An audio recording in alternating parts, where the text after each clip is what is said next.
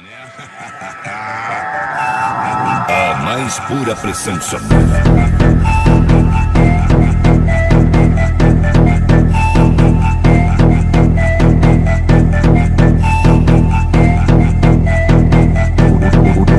O Marcão é o rei da cavucada.